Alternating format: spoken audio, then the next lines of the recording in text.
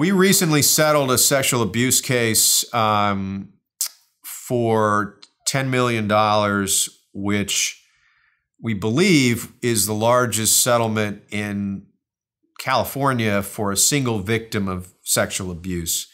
This was a very tragic situation involving a young girl. She was 11 years old when she um, started to get uh, raped by her mother's live in boyfriend. She told a teacher what was happening. Um, the Riverside County Child Protective Services Agency opened up an investigation. They came and interviewed her. The boyfriend uh, allegedly left the country, and um, Child Protective Services completed their investigation, closed their file.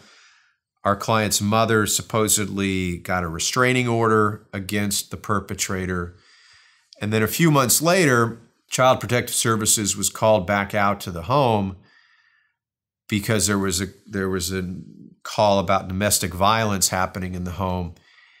And they show up and they find that the boyfriend is back in the home. What happens next over the course of the next six months or so is a couple of different investigations by Child Protective Services, but nothing happens. They do nothing to um, protect this girl.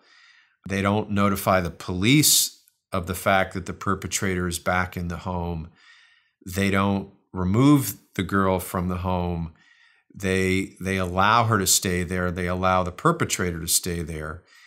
And about two years later, it's discovered that she's pregnant at the age of 13. Um, she gave birth uh, at the age of 14, gave the baby up for adoption. Just a horrific situation. It was a challenging case because governmental agencies in California and, and in most states have immunity for most decisions that they make. And so the challenge in the case was to show that this was not a situation where the government had immunity.